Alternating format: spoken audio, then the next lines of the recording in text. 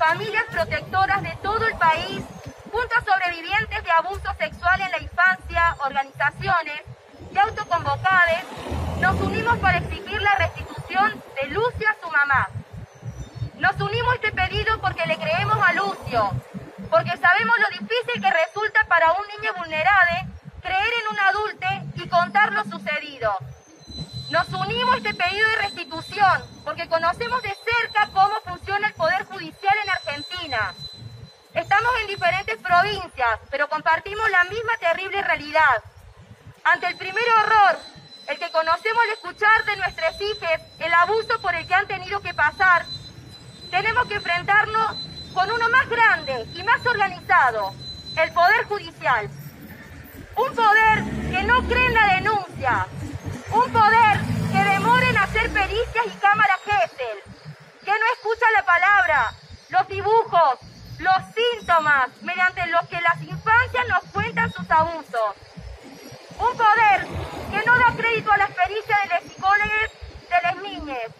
Un poder adultocéntrico al que nunca le bastan los testimonios de las infancias, ni siquiera el grito desesperado de Lucio durante dos horas dentro del juzgado de familia Isidro. ¿Dónde está el derecho de niños a ser escuchado y su opinión tenida en cuenta? Nos unimos a este pedido porque le creemos a la mamá de Lucio.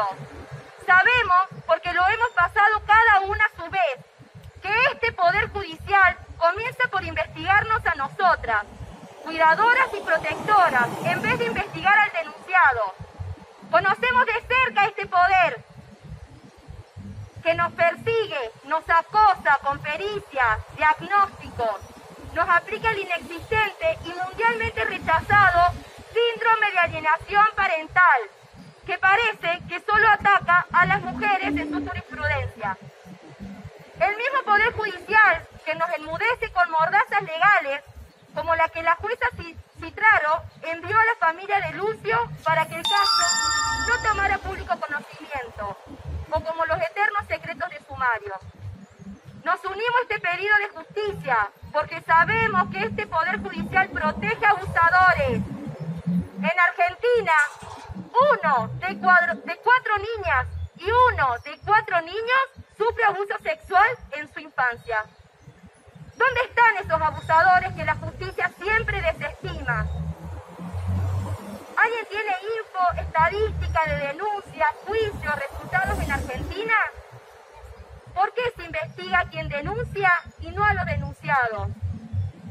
Nos unimos a este pedido de justicia porque lo que la jueza Sabrina Citraro ha hecho constituye una tortura, restituyendo a un niño con su abusador y alejándolo de la persona con la que él se siente seguro, cuidado y escuchado. Y lo hace con un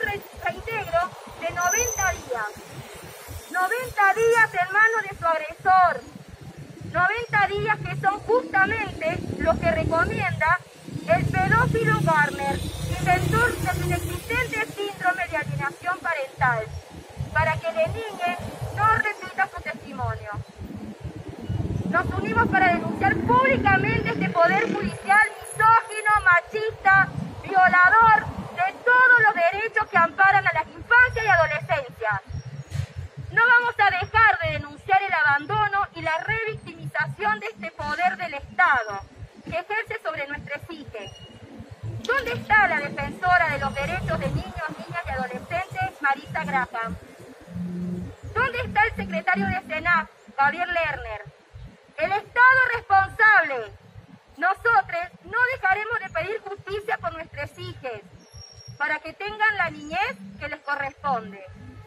Hoy por eso, desde San Isidro, Mendoza, Córdoba, San Juan, San Luis, Cava, Chubut, exigimos la restitución inmediata de Lucia a su mamá y no la revinculación con su abusador. Basta de revictimización judicial. Basta de ISAP y teorías afines. Basta de pedófilos y pederastas en libertad. Basta de leccionar a madres cuidadoras. Exigimos que se respete el interés superior del niño, niña y adolescente.